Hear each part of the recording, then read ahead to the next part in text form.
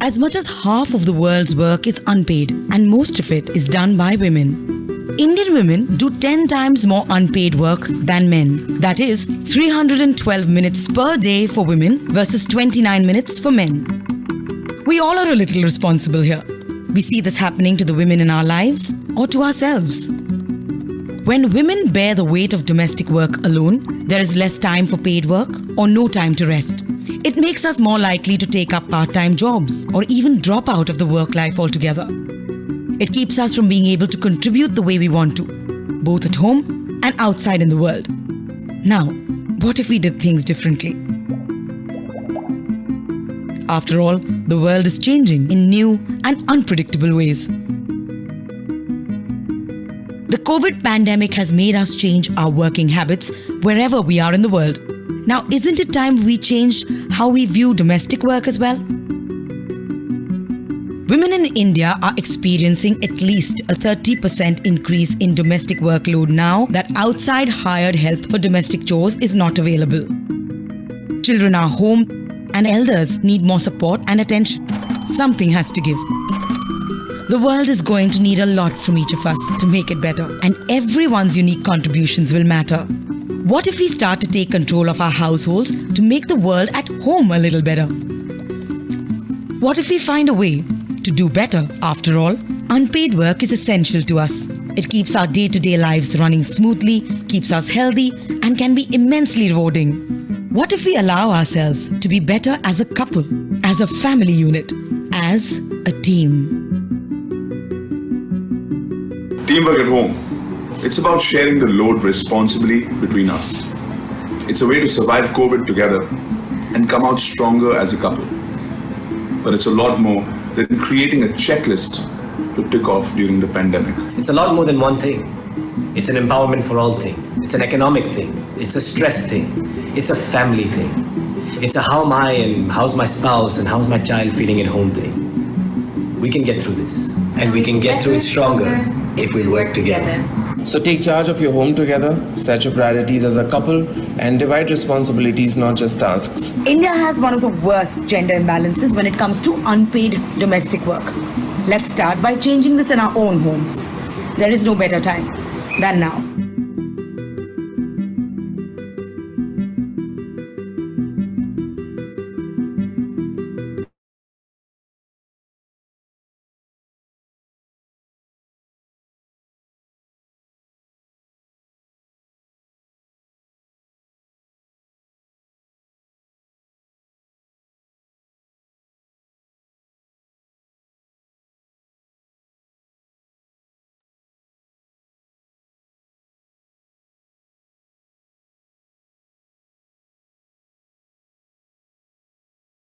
Thanks, team. Um, that was just a video that the Dalberg team created in recognizing the increase in the unpaid care work burden and time poverty on women and girls during the COVID times. Um, we are now super excited for our next session, um, which is on gender-based violence. How can we report it, uh, how can we respond to increased gender-based violence and support survivors post-lockdown? This has really been a top of mind issue uh, for many during this pandemic. Increased rates of domestic violence, sexual violence has really threatened the lives of many women and girls. Um, in our last panel, we spoke about how many support systems like shelters have actually closed down, jails have become overcrowded, courts are not hearing cases. Um, and so this today uh, is no longer a, a discussion um, that we're having just amongst ourselves um, for intellectual curiosity, but a really important and urgent issue that uh, we must address. Without further ado, I would like to introduce our moderator, um, Pragya Tiwari, to kick us off. Pragya is a journalist and a writer for the last 15 years. Based in Delhi, she's been covering policy, politics, culture, and has written extensively recently on the impacts of COVID. Her work has been featured in numerous national and international publications, including the New York Times, Al Jazeera, Quint, Wire, The Hindu, Telegraph, Mint Lounge, and many more. So now over to you, Pragya. Thanks so much. I hope I'm audible. Um, and um, I would just like to kick off by um, introducing the topic, or rather the ambit of the conversation that we have planned over the next one hour. As all of you know already, the entire world right now is um, in the grips of an unprecedented pandemic and is in some or the other form of lockdown.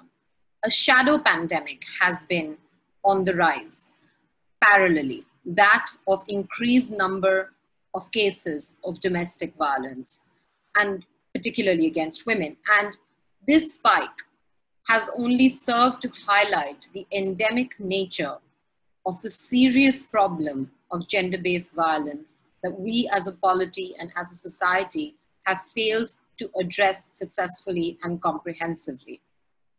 So, over the next one hour, we hope to be talking about the dimensions, manifestations, and scale of the problem, as well as some potential solutions for the near future and for the present time. But before I start, I would like to uh, welcome my co-panelists and uh, ask them to please introduce themselves uh, with a short, maybe less than one minute, quick introduction. Of course, you can Google them all. They've all done extensive work and read more about their work. Maybe we can start in alphabetical order. If Bishakha is here, maybe we can start with Bishakha. Sure. Hi. Thank you very much for inviting me to this. Uh, I'm Bishakha Datta. I live in Mumbai where I run a nonprofit called Point of View. We work at the intersection of gender, sexuality, violence. We work online and offline. And I started many years back volunteering on a domestic violence helpline and nowadays work much more on digital violence. Great. Uh, um, is uh, Elsa, okay, I can see Elsa, so maybe she can go next. Good evening, everyone. My name is Elsa Marie D'Silva, and I'm the founder and CEO of Red Dot Foundation. We have a crowd map called Safe City, where we crowdsource anonymous stories of sexual violence. And uh, I'm so glad we are talking about gender based violence today at this conference. Great. Pradeep? Sorry, Pradeep, are you with us? Yes, I am. I, my video has been uh, shutting off, uh, having a mind of its own, unfortunately. So my apologies. Uh, hi, uh, good afternoon, good evening. Uh, thank you for inviting me uh, to be a part of this conversation. Um, wait, okay, there it is now. Uh, thank you for inviting me to be a part of this conversation. my name is Pradeep. I'm with the Ford Foundation based here in Delhi.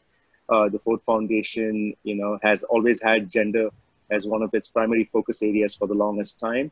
Uh, this uh, last year, we decided to uh, narrow our focus on violence against women. So I am so glad that we're having this conversation because, as far as we are concerned, um, you know, this is long overdue. These conversations and crisis like this just uh, puts a spotlight on uh, an issue as important as this. So thank you for inviting me.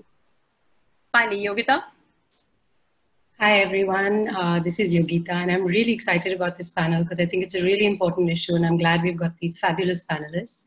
Uh, so, I work with an organization called Breakthrough that has been working on the issue of violence against women and girls for uh, 20 years now. And we really come at it from a norms perspective, and we really believe that everything that we see around ourselves, and when you have crises like COVID 19, it really exacerbates your, your, what what you're seeing is the underlying fissures really being exacerbated because this is what we've been conditioned to do per se.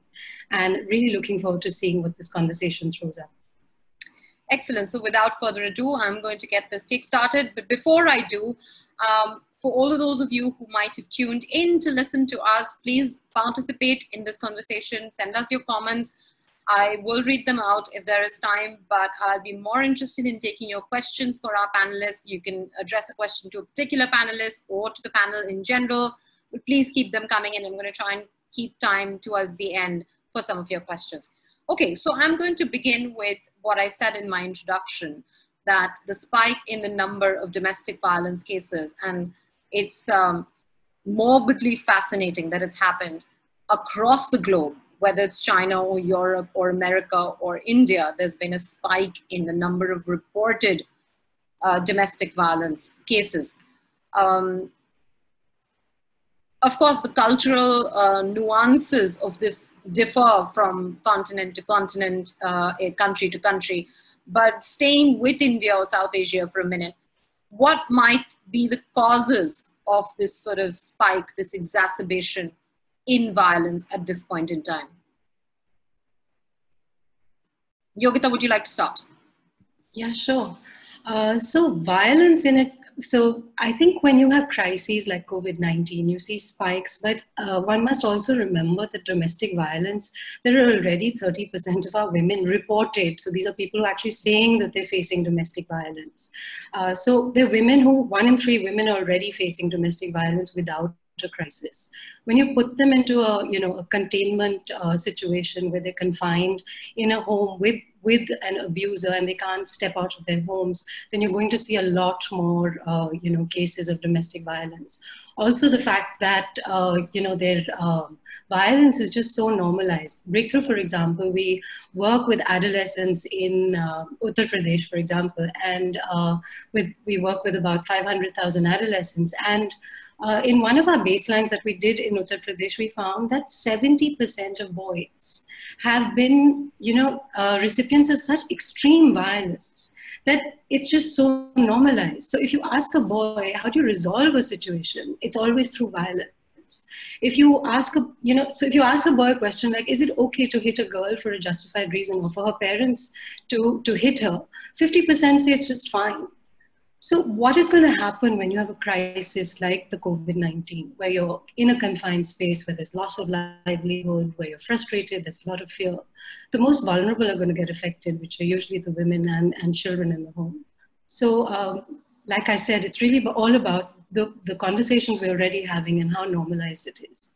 Yeah, and of course, this is also a time, like you said, when women have lesser access to. Uh, you know, to be able to step out for work or whatever, or reach out to support systems of any kind, whether they be neighbors or friends or family or whatever it is. So that makes matters much, much worse. And women live in areas where, you know, they, they don't have space, so they can't really oftentimes speak on the phone or really, you know, talk about their ordeal. And all of this sort of compounds to make things worse. And just uh, very quickly before asking the other panelists to weigh in, I'd like uh, to um, bring up another statistic uh, that uh, supports what you were talking about. There was a National Family Health Survey that's done by the Government of India that found that 52% of women thought that it was okay for their husbands to hit them.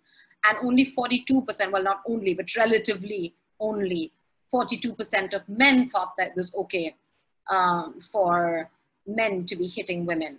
So it's interesting how deep rooted uh, and normalized violence is in our culture, society, and of course in our psychology. But before I move on, any other any other thing that Vishaka, would you like to talk about yeah. the spike in domestic and sexual violence at home? Sure. I actually want to think about it in two levels. So one is, you know, we talk about what's the root cause of domestic violence, and the root cause is patriarchy, and that remains across time, right? Uh, the subordination of women, men treating women as objects, blah, blah, private property, etc. What happens at certain moments, and we've seen this during droughts as well in India, during famine, etc., is that another factor pops up that works like a cofactor. So that's not really the root cause, but that sort of, you know, sort of comes into the root cause and then spikes it up. But I want to say that it's very important that we not think of like coronavirus as the main cause or the lockdown. We really need to think of patriarchy as the root and tackle that. Absolutely. Any other comments on this before I move on to my next question? Please, let's start with Elsa and then we'll take Pradeep. So to echo what Yogita and Vishaka said, I think it's unfortunate that uh, it's taken this pandemic, COVID-19, to expose what we've all known as a pandemic that has been there across time, like Vishaka said. Uh, the issue is really about um, having these conversations about talking about it openly because if you don't create an environment that is supportive for survivors to come forward you know, uh, we it'll always be what you described as a shadow pandemic, and maybe it slips through the cracks. But it's very, very important to have these conversations to make it non-taboo, so that we can find the solutions, and then we can address it at whatever level, whether it's education or legislation, or even in terms of resources. So that's just what I wanted to say in the introductory. Um, uh, part, but later I want to talk about how we've been addressing it.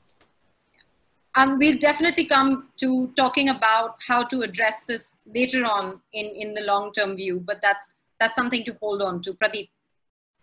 Yeah, I'll just try to be brief. Uh, you know, I'd like to actually uh, politely disagree with what Elsa said in that, uh, you know, she said that it took a crisis like this to highlight it. Actually, I disagree because I don't think it's been highlighted.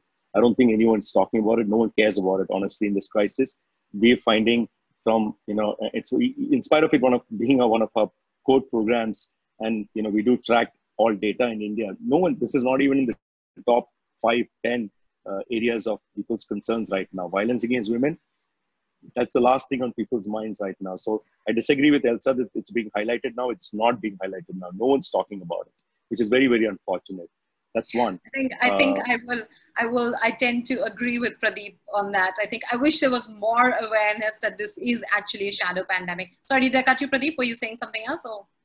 No, no, no, no, no. I'm, I'm glad you agree. And just there's two other things. One is, you know, patriarchy has always been the bigger issue that we've been, uh, you know, wanting to address, and I'm sure we'll speak about it later. So thanks to Bikasha for highlighting it. I just want to hide, you know, two, two, two, two, uh, I guess, data points to your question. One is, uh, you know, when you ask why, you know, what's happening in COVID and what's being highlighted, you know, in this particular issue. So one is we got to realize that, see, we talk about violence, uh, you know, against women in public spaces. So you got to realize that public space is being redefined during this crisis, right?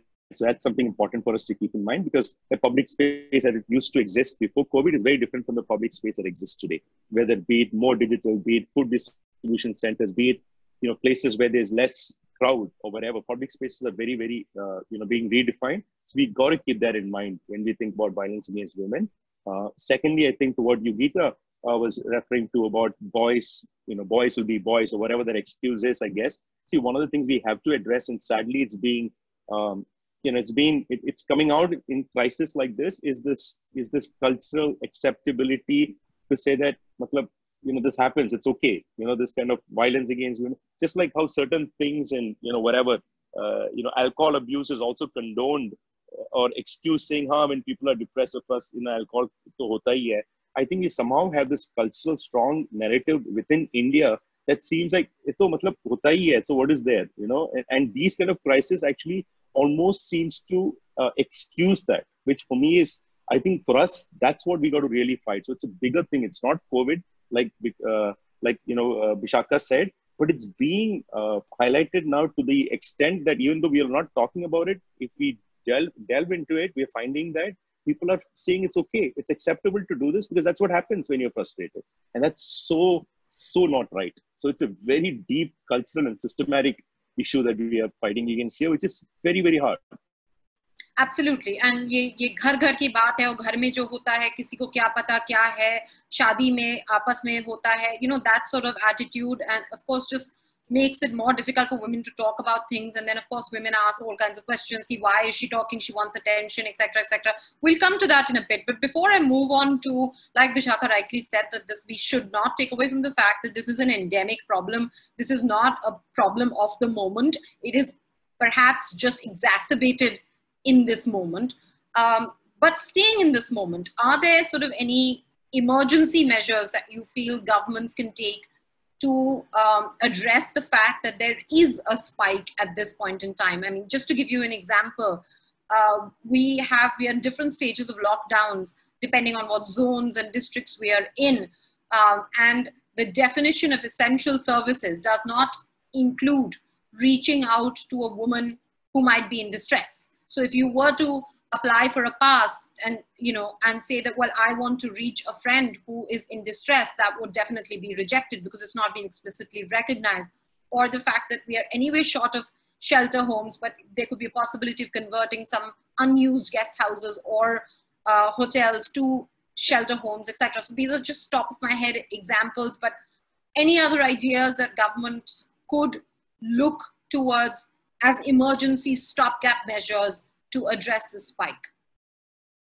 Any of you could start. Can I go? Please. Okay. So um, imagine, I mean, if I were the prime minister, this is what I would do. I would first of all say that this is an emergency and I would put out like some sort of communication around it. Like imagine living in a world where the senior most members of government take this on and devote like even one minute of airtime to this, saying, hey, this is the data that's coming in.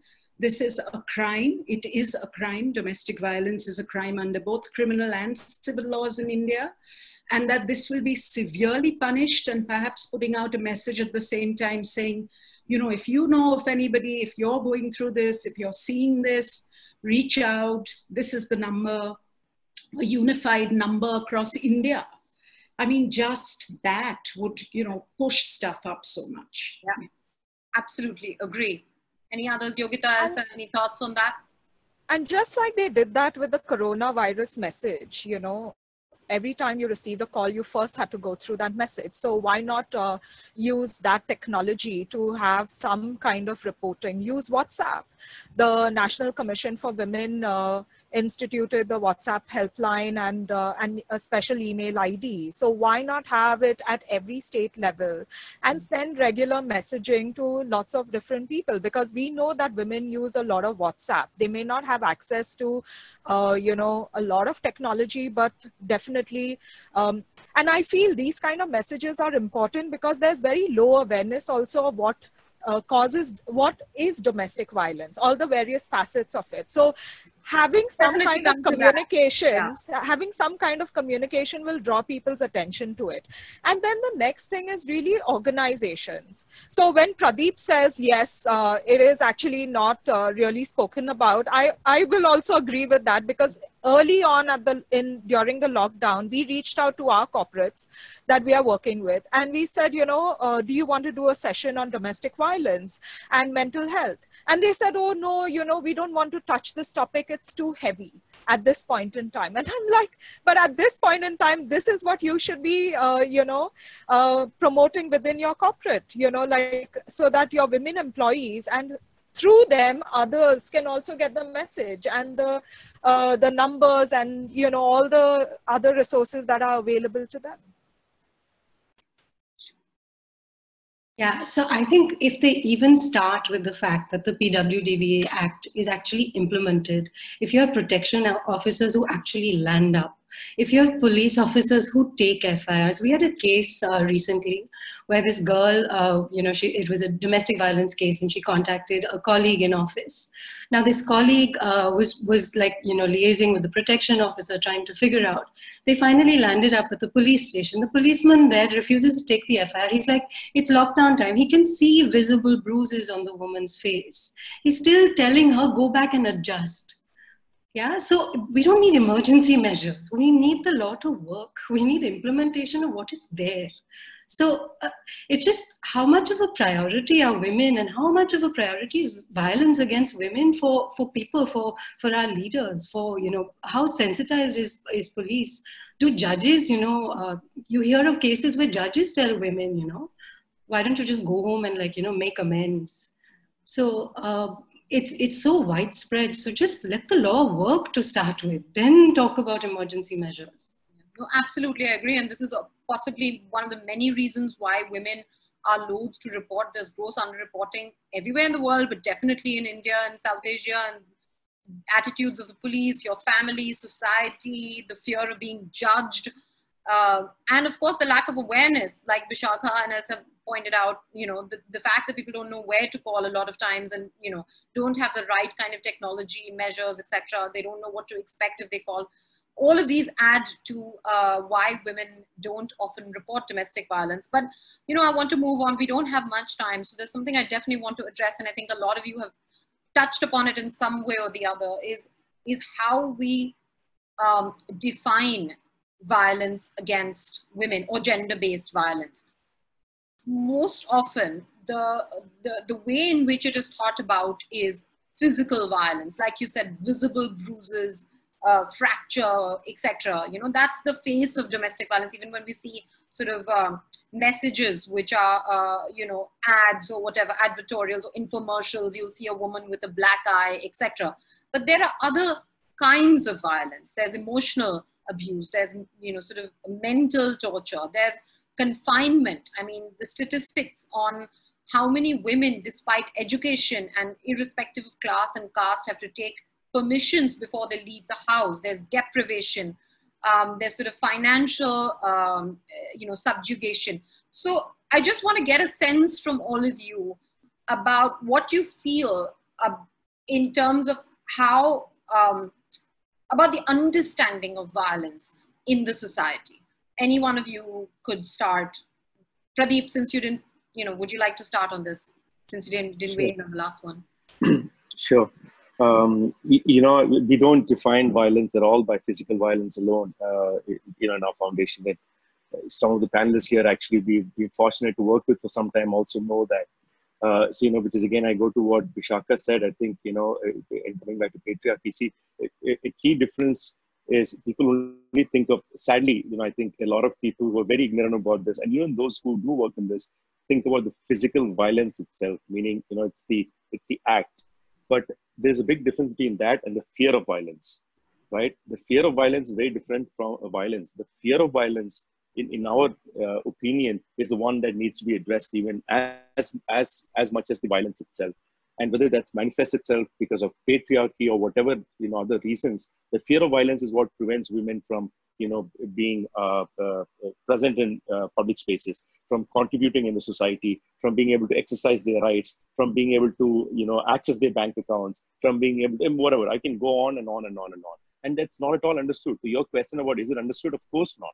I don't think any of us here in the panel really clearly understand all of this because we all have different versions of what we think. Because I know sometimes when we have conversations with our partners, we'll say, okay, yeah, that's also there, but come on, let's not include that because if we also include that 98% of women in india face violence so i guess the question is why not include that right maybe let's be very honest about it maybe 98% of women in india do face violence right and it's i think somehow our uh, you know our i guess even our way of defining that okay this it starts with a very narrow circle of physical violence and for even in that physical violence by the way a lot of people would only qualify certain things like i think like many of you said uh, you know, for, for sadly, you know, so, eh, eh, you know, a family member hitting a woman would not even constitute even in that physical violence circle.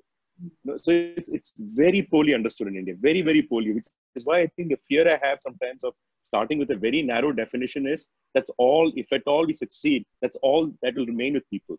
So I think we need to take a step back and all of us need to remind ourselves that violence, we, let's stop saying physical violence, let's stop saying domestic violence, because by doing that, we're not helping the definition at all. We're narrowing the definition to such an extent that people will then find some ways to go around it. We need to take a step back and see that violence is much more than that. It starts with whether it's patriarchy, the fear of violence. For, for us, I think as a foundation, that's what we've been struggling with. And that's the thing that we really want to help address. In fact, we should probably not even use the word women. We should, we should call it gender-based violence. Yes. Uh, to include, um, you know, transgenders and of course, transgender. Often at the worst kind of receiving end. Okay, any other thoughts on how we define um, violence? One point on, sorry, go ahead, Michelle. Go ahead, Yogita, after you. Okay, just one point on violence. So, you know, in some of our programs, we, we spend almost a year working with women and with young girls to help them just identify what different forms of violence are because it's so hard coded that, you know, people will not talk to me. People will deprive me of nutrition. People will deprive me of money and say it's okay. People can have verbal abuse, which goes on 24 7, and that's okay. So, for them to even identify that this is not okay takes us almost a year so it's actually one of the outputs we have in our, uh, you know, in our uh, results-based uh, metrics that we put together. Shaka, sorry, you were saying. Similar to what Pradeep and Yogita said, you know, I think what's visible but very severely visible is considered violence. Everything that's invisible is not considered.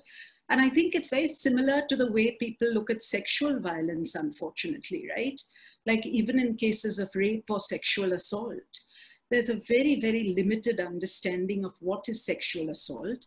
And of course, the other thing we leave out, even though we're spending like all our time on digital devices, is digital violence. So, you know, I think we have to think of our bodies today, honestly, as like one hand on the mobile, one foot on the ground, and our body is everything that stretches in between.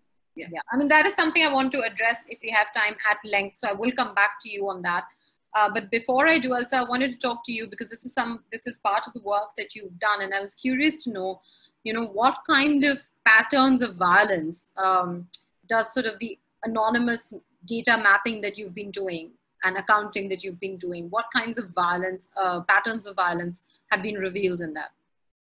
So, you know, what Pradeep said is absolutely right. You know, um, for example, we focused only on sexual violence in public spaces and we broke it down into different forms of it so that it was easy for people to identify and put in a way a label to their experience.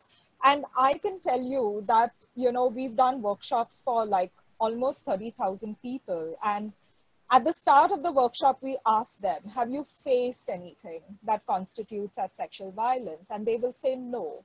And when you go through the definitions, you go through the various laws that are in place in India, and you ask them the same question. Pretty much every person, I mean, when I say person, uh, mostly women, uh, will put up their hand, and some men as well, you know. So I would say that, you know, violence is part of our culture in a way. It's become so normalized at every level and uh, when we talk about what's invisible, it's really showing up in the statistics. Take, for example, the femicide rates or um, you know, women's participation in the labor force, the formal labor force, or you take the wage parity, whatever statistic you take, you know, the structural forms of that violence are manifested over there. What we've been doing is trying to help people identify and at least for a start, start to think about, okay, what, you know, what was this experience of mine and how did it translate to me as a person? Did it inhibit my movement? Did it inhibit uh, some of my potential? Did it inhibit my opportunities? And then trying to help them think about, uh, you know, the collection of the stories as a data set, identifying the patterns and trends at a local level and saying, what is it that I as an individual can do to change that? or as part of the community change it or demand accountability from institutions. And what we found also has been useful is if I went with my single story, and we've seen that in Me Too, if I went with my story, it's really hard, first of all, to speak up. And when we do speak up, people still, you know, make me feel bad about it and make me want to prove my innocence. But when you can take an anonymous set, it doesn't have to be big data, it has to be relevant disaggregated data. It does get people's attention. It can be a starting point for dialogue and it does uh, help the larger community that you're part of to think about okay am i okay with it or do i want to change this and that's that's really what we've been able to do in several different communities including college campuses and even in corporates. Okay.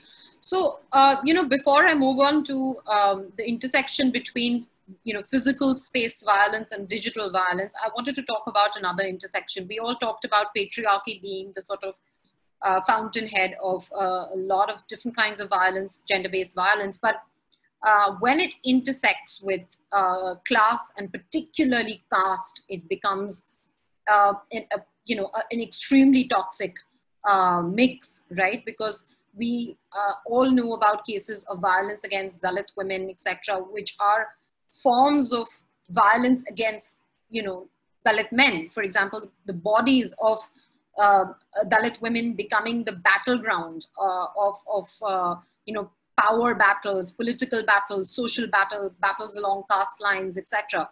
Um, it, it, it just, I, I wanted to get a sense from all of you of you know, just mapping this entire sort of um, spectrum of violence and, you know, against women and the different intersections at which it, it uh, you know, it manifests itself.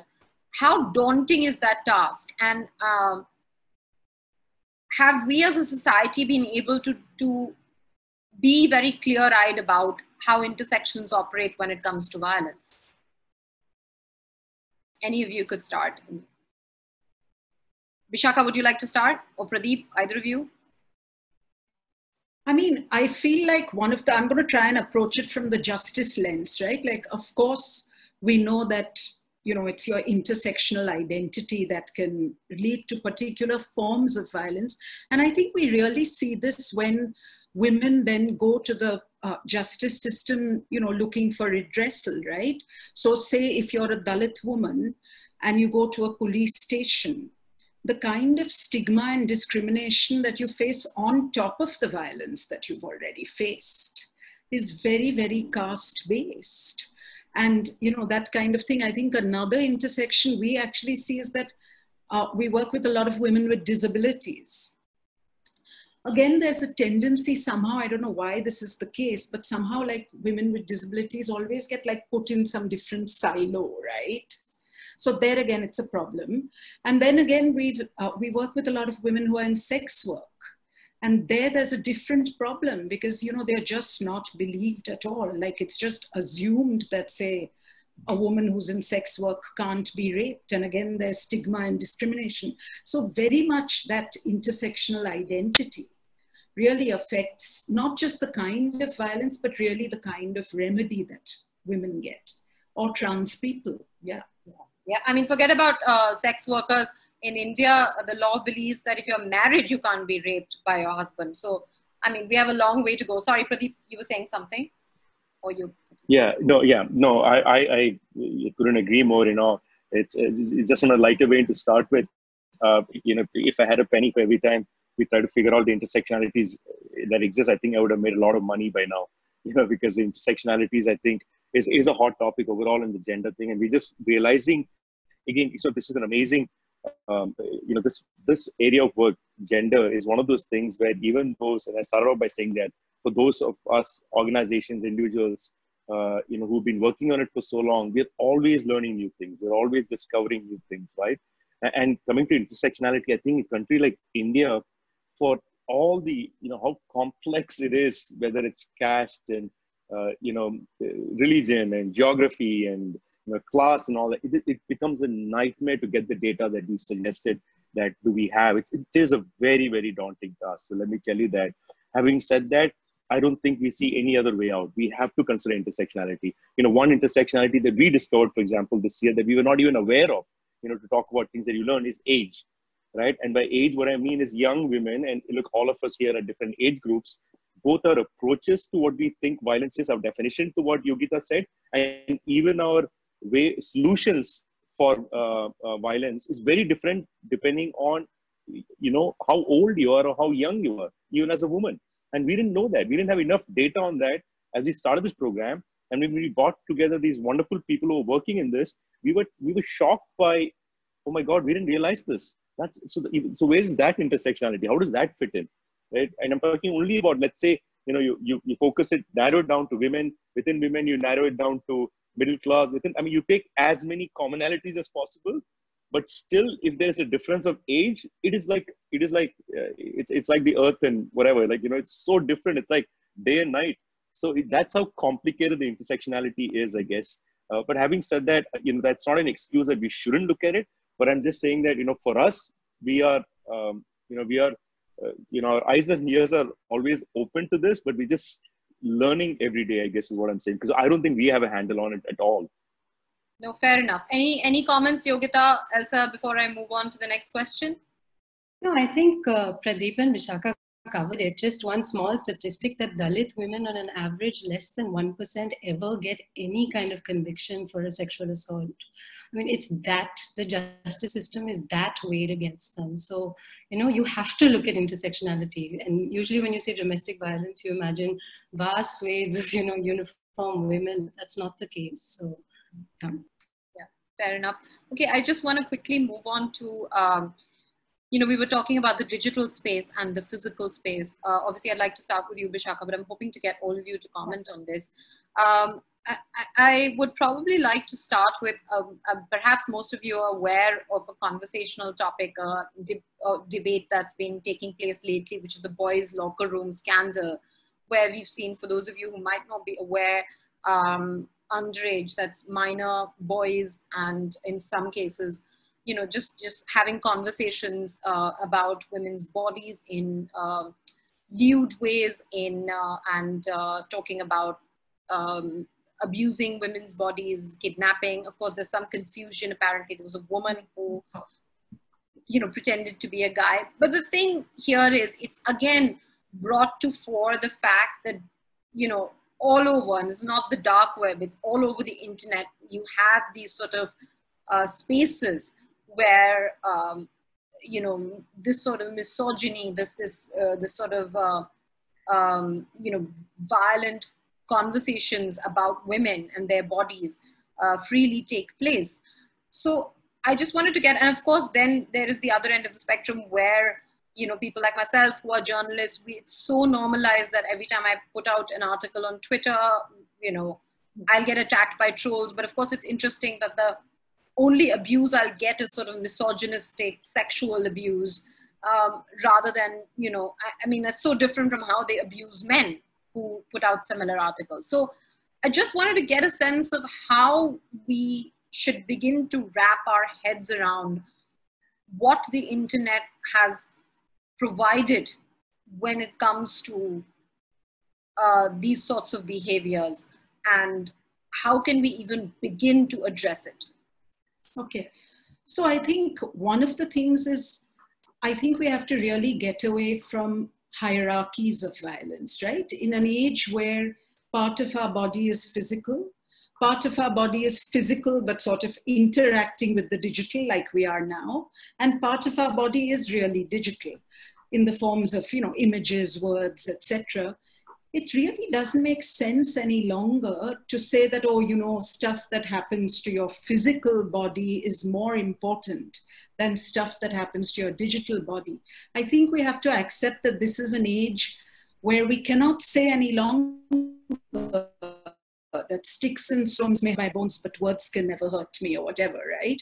Words and images are the prime weapons of digital violence in many forms, from the boys' locker room, regardless of the confusion around who said it, etc. We know that this is the kind of misogynistic conversation that takes place in a, you know many many digital locker rooms, let's say, and physical, of course. And I think we have to just reframe our heads and you know sort of say that if you are the person who's experiencing this kind of shit stream, you know, from morning to night on your feed, the kind of emotional, mental, psychological health consequences you know it's totally like a form of violence. So that's what i want like sort of this hierarchy to end and sort of stop saying you know like this is more important. This is it's all important to the person who experiences it. Any uh, thoughts on this elsa and yogita? I don't have much time and i do want to move on but any quick thoughts on this would be very welcome. Yeah i just... agree with bishakha that uh, you know especially the digital, we cannot treat it as separate. I think today um, the digital space is as, as, you know, similar to the physical space. And for somebody to, in fact, and I would think it's more dangerous over there because people are actually saying things like, I will rape you, which they may not necessarily say on your face in the physical world. So we have to take those words very uh, seriously because those are threats. And uh, I think, um, you know, we should call them out and we should, uh, you know, insist on uh, severe punishment uh, because it's not a matter of law. We have the laws in India. It's about implementation of these laws and also education right from a very early age. Uh, how do we make sure that people know that you know, um, that this kind of behavior is totally inappropriate. This is, you know, we are in 2020 and we should not be actually discussing this in a way. But, uh, you know, we continue to face this form of violence and many other forms of violence, you know. So I think, um, yeah, we have to treat it not as separate, but as part of the larger group of violence. Okay, so I have time for just one final question before I take some questions from the audience. And this is going to be a big one. So I want all of you to equally try and weigh in. Um, and this is about, you know, what would be, there are, uh, you know, there are institutional changes that we need to be able to address this, like Yogita has pointed out, or Vishaka has pointed out, which is criminal justice system, the police, the courts, etc. The legal uh, interventions that we need in terms of laws, better laws, etc. There's educational interventions that we need that Elsa was just talking about. And of course, there's social interventions that we need that some of which Pradeep highlighted. So under all these broad heads, there's so much that is to be done. I would just like to get a sort of personal wish list from all of you, not maybe an exhaustive list, but what is topmost on your personal wish list of changes that we can make or we should be making to make things better in the present and in the future. I'll start with you, Yogita. So for, for, for me, I think we always come at it from a norm space and it really needs to like the way we bring up our children the kind of conditioning we give them the way boys look at girls the way you know fathers mod, role models with with mothers for children that has to change. And really we need a like a transformation of mindsets at a really large scale. You can put in every institution you can put in every judicial system. You're not going to change how people think and what they do at home unless you have you know large scale norm change and you stop like this whole concept of violence being okay and violence being justified and you know women being the recipients of it at the end of it it has to stop and it has to be unacceptable. So yeah. Pradeep would you like to come in? Sorry i can't hear you at this moment. No i said my apologies. My two daughters are hovering around me which is why i've had to turn off and on the video well, not a bad thing for them to hear this. They'll be proud. Yeah, no, I, no, believe me, I spend all my time with them on this only, so they're tired of me hearing about this. No, but I, I do, and I think I was going to say it's one of the things all of us should do. I think is, is you know, no, but, but you know, I, will just uh, be brief and say, uh, uh, you know, be easy on myself by just laying out what is it that as a foundation that we're focusing on. See, there's, you know, we, we're kind of looking at it three phases and three categories almost our most uh, immediate um, uh, focus is on organizations that are directly involved in these relief efforts around these issues that uh, gender violence is facing. So I think for us, whether you call it a wish list or what is it that we are, whether it's a roadmap, so we, you know, we're currently focusing on organizations that are in some way, which actually, by the way, are very few involved in response efforts, right? That's one category.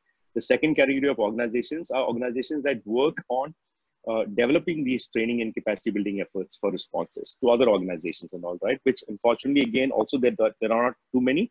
And those organizations themselves are facing challenges as you can imagine because of lockdown and all of that. So that's the second category of organizations that we would like to continue to work on. So these organizations again are those that are focused on the capacity building and training efforts for other organizations that work on response and everything you know related to violence. And then the third category of organizations which are very important to us and which unfortunately you know we've had to um, slow down on, uh, but I think is very very important are those organizations, whether it's communities uh, or movements or you know uh, networks that have worked all these years on really you know taking the women's uh, these narratives and movements to a certain place. So we don't want the gains that is being achieved by these networks and communities and movements to go away. Unfortunately, that's taking a backseat now because of the category one and category two, like a set of organizations. But we're very mindful that those organizations, those conversations, the category of those organizations that have been working for years and decades, you know, on chipping away to make some gains should also not be neglected. So for us, it's those three pronged approach, I guess, whether it's in series or parallel, we don't really know because ideally we would like to do all of it and we'd like to do all of it now. But as we know, that's not realistic. Excellent. Elsa?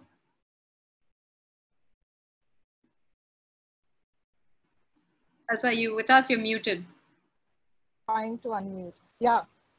So I think education at all levels. So the norms-based uh, education that Yogita was talking about should be mandatory in all schools and similarly in all organizations as well. Why is it so difficult to talk about uh, different forms of uh, violence, even if we are talking about sexual harassment at the workplace, for example? So I think at every level, including uh, with uh, institutions like the police, etc., there should be uh, education uh, the second one is make it easy for people to report. Um, why? Because if you don't have the data, you won't be able to, uh, you know, efficiently deploy your resources, both human and financial.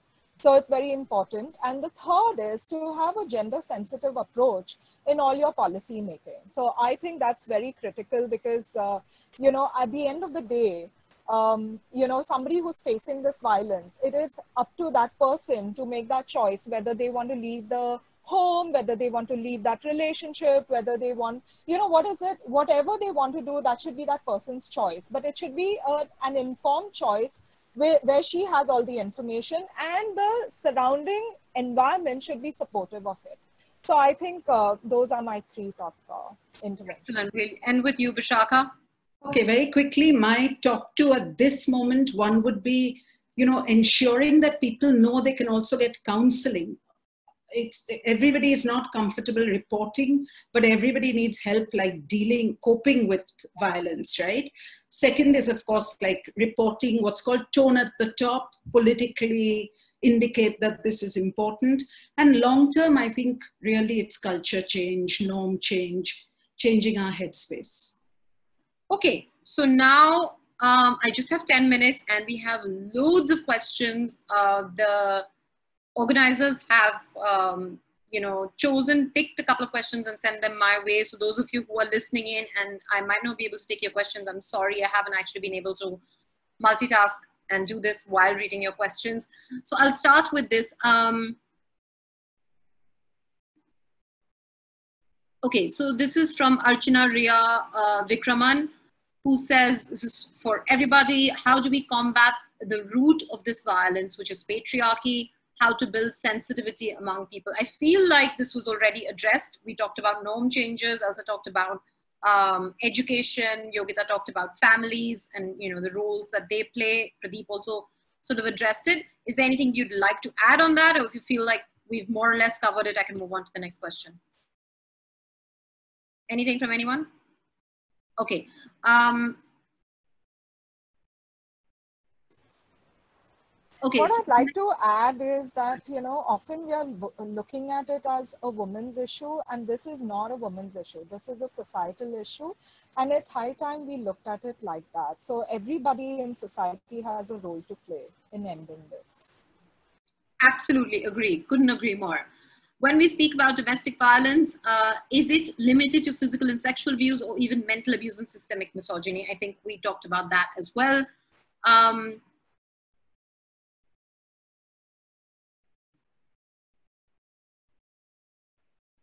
okay uh, this one is to you bishakha you've already talked about digital violence but uh, just wanted to get a sense of of course the times and our, that we spend on online has gone up due to lockdown and so has our dependence on being online have you noticed any patterns in terms of change where uh, or spike or whatever in terms of digital abuse in this time I mean, quite honestly, I am trying to limit my social media time to stay sane and stuff like that. So I'm not tracking patterns, to be honest. But, you know, we are seeing, for example, even like the combination of, you know, Corona and Islamophobia, that kind of thing.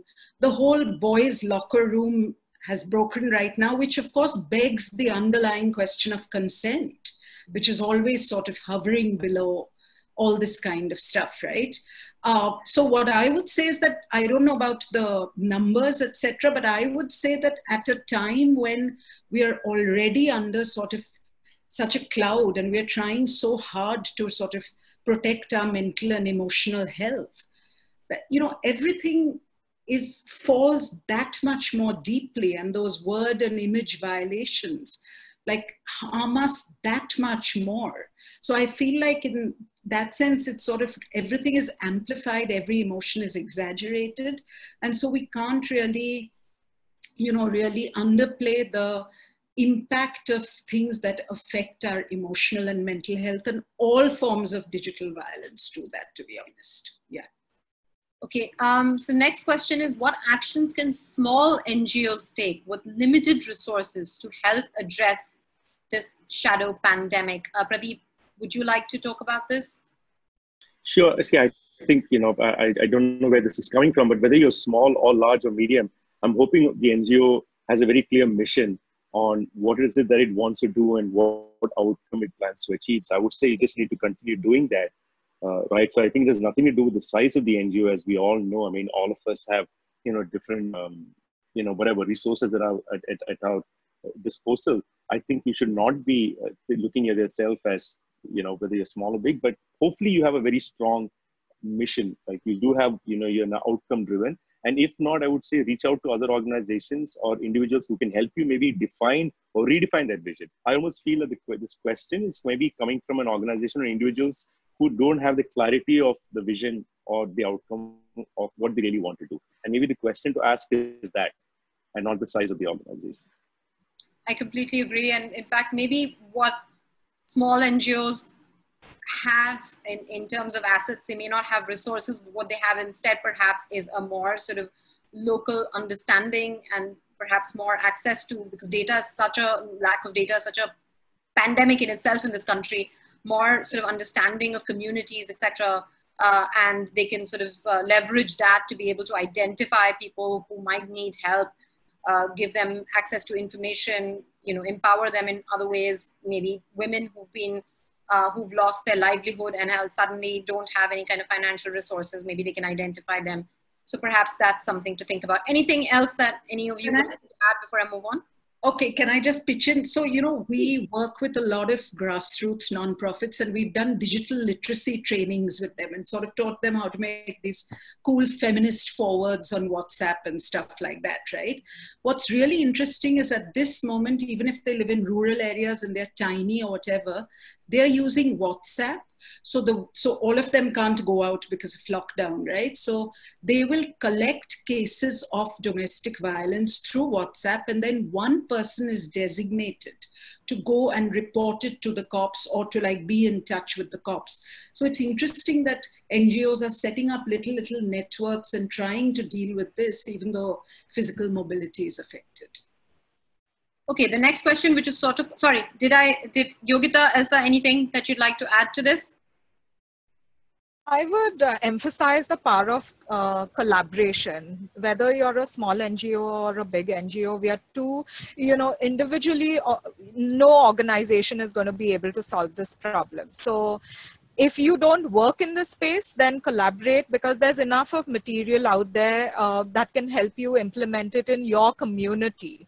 So at least start the conversation within your community about uh, domestic violence or any other forms of violence and uh, link them up to resources that uh, are existing. So for example, we uh, work closely with Majlis for legal aid in Bombay and we work with several other organizations for mental health counseling. So, you know, we know where our niche is and uh, we put together a bigger program with many different organizations. Okay, next question, which is sort of related, is uh, what can we as individuals with very limited powers uh, uh, do to support women who are undergoing abuse? I'm going to start. One very easy thing is, I'll come to you, Yogita, first, but one very easy thing is if you have maids working for you or women working for you in any way, do not cut their salaries, do not take away their salaries at this point in time because that is that much of financial independence is crucial for them to be able to withstand and walk out in case they are facing domestic abuse. And the second thing I would say is that it is very, very difficult for women who are facing abuse to report it, to talk about it, and to escape it. Uh, women typically leave many, many times and then they tend to come back. So if you know people who are facing abuse, try and be really non-judgmental about it as much as you can and be supportive and do not get sort of frustrated that they are they're stuck in a in a warp that they're not being able to get out of. It's easier said than done. Sorry, Yogita. So I think um, what anybody can do as an individual is really to be resp- a responsible bystander. You can really, uh, you can report it, you can intervene, you can, uh, Breakthrough run, ran this campaign called Bajao for the longest time, which really said that if you hear violence around you, you go and ring the bell. And it could be for something as stupid as, do you have a glass of milk in your house or whatever, but you dissipate the violence in that moment. I think the acknowledgement by people that when you hear violence around you, it is my problem also. It is not just the problem of the person or the family. That needs to happen with every individual in the country. And that's when change really begins. Okay, uh, sorry. I think I've been told that I have to. Sorry, is there anyone else who'd like to add? I've just been told that I'm sorry, I'm distracted. This kind of talking to you guys, which I get completely lost with, and then a series of instructions I keep repeating on, uh, keep getting on chat. Anything else that anyone would like to add to this? I, I would say, you know, just if, if someone wants to easily remember, because people love acronyms on what as an individual you can do, is, is the three P's, you know, is, is practice it yourself, meaning that, you know, don't, you know, obviously uh, you know, practice it yourself. The second is preach it. So the second P is preach it, meaning anyone, you know, and anyone and everyone you have access to preach it to them. And the third is prevent it when you see it, right? So I would say those are the three things that you need to do yourself, which I think all three people don't do, you know, and, and it's hard. It's not as easy as it sounds, but those are the three P's. I think if everyone decides to do it themselves, then that's a very good start.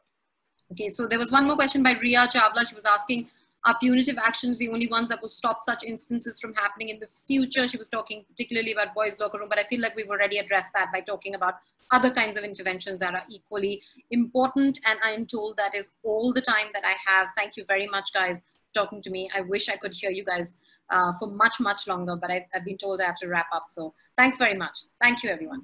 Thank you. Thank you. Thank you so much. Bye-bye.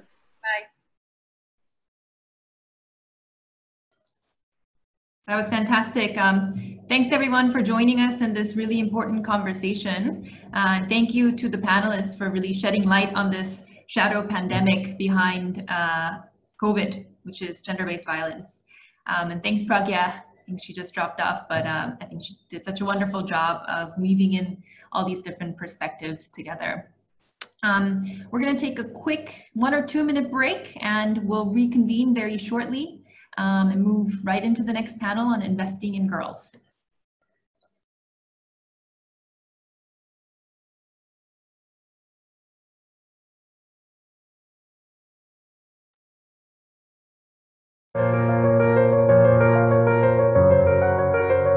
During the lockdown, there has been a sharp increase in the number of domestic violence cases. To all the men, we say, now is the time to stand up against this violence.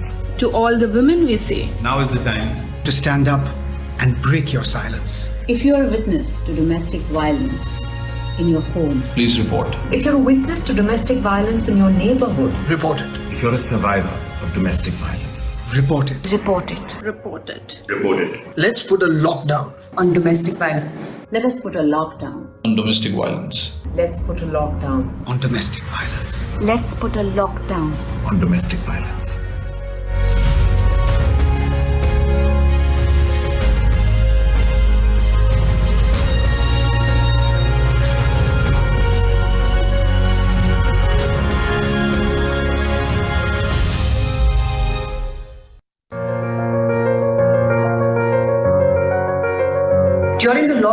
There has been a sharp increase in the number of domestic violence cases. To all the men, we say, now is the time to stand up against this violence. To all the women, we say, now is the time to stand up and break your silence. If you are a witness to domestic violence in your home, please report. If you're a witness to domestic violence in your neighborhood, report it. If you're a survivor of domestic violence, report it. Report it. Report it. Report it. Let's put a lockdown on domestic violence. Let us put a lockdown on domestic violence. Let's put a lockdown on domestic violence. Let's put a lockdown on domestic violence.